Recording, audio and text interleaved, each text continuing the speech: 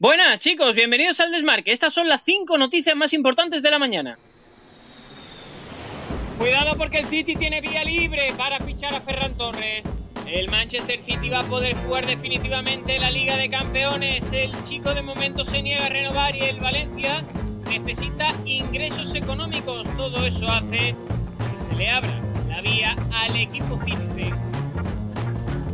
Final en la Liga con tintes europeos para la Real Sociedad. El cuadro de Imanol se la juega en su pelea por intentar ser equipo que juegue competición europea la próxima temporada. Lo hace esta noche ante el Villarreal. La permanencia del Real Valladolid un año más en la Liga Santander es algo matemático y se produjo después de conocerse la victoria del Sevilla frente al Real Club Deportivo Mallorca. El equipo de Sergio González vuelve a quedarse otro año más. ¡Qué mérito! en la Liga Santander y lo hace matemáticamente dos jornadas antes de que acabe la liga.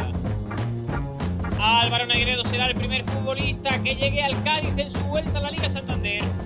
Refuerzos de campanillas para el Cádiz en su vuelta a la Liga Santander y lo anunció su propio presidente Manolo Vizcaíno que lo conoce de su etapa en el Sevilla Fútbol Club. Negredo, jugador del Real Madrid, del City, del Sevilla y de la selección española, llegará para tener la responsabilidad de gol en Carranza Manuel Pellegrini ya ha sido presentado como entrenador del Real Betis.